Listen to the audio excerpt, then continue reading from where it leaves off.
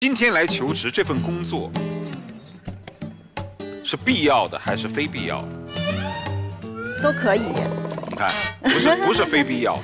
在座的有这个六位女生，如果让你们不工作，会死吗？我觉得肯定会要，一定会有一个别的兴趣爱好和打发时间，比如说要读多少本书啊，或者跳瑜伽呀，或跳舞啊，一定会找到其他的释放自己注意力的地方。啊，那就是可以，反正不工作，只要有别的事儿干，不一定要挣钱。我觉得我就要是没有工作，一个一个来，没问到你呢。你的个子那么小，你你可不想工作了，就想找男朋友，我知道。来，小青，我觉得我如同如同会死，如同会死。对。工作呢是实现自己价值和社会价值的地方。你听他说话就知道他不工作会死。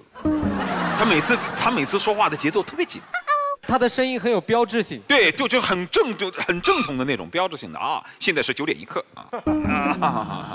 现在现在不回家你会死啊！你赶紧回来啊！就那种感觉啊！来来来，陈威，你不工作会死吗？我觉得这件事情是跟年龄有关的啊！我自己思考过这个问题。比如说我今年才三十出头，那对于我目前的状态，不工作是会死的。但是我觉得这种工作状态我不会持续很多年。我对我自己规划就是十到十五年是我全力的去工作，然后之后我可能会换一种生活方式。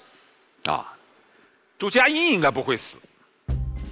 我肯定会的。你不是那么，你不是那么工作会饿死的。假如不饿死，这个答案最好。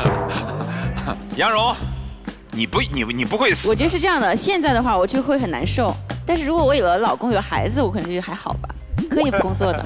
杨蓉，你是工作会死。不是，对对对 对，他一直这句话说的对，这句话说的对。他一直在找，他一直在找那个那个安全的港湾啊。贾军肯定也是不工作不行的啊，是吧？对，我觉得前提经济基础决定上层建筑，我觉得一定要有财务相对自由，要不工作，我做一些有意义的事情，我是接受的。好，我为我为什么问这个啊？我是真的觉得，女性待在家里和不待在家里真的是完全两个状态。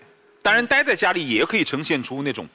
生机勃发的状态，但就要看你怎么去安排自己的生活。对，其实，在这个世界上最难做的事情，其实是家庭主妇。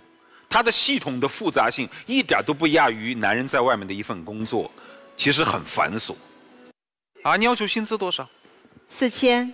第一轮选择去或留。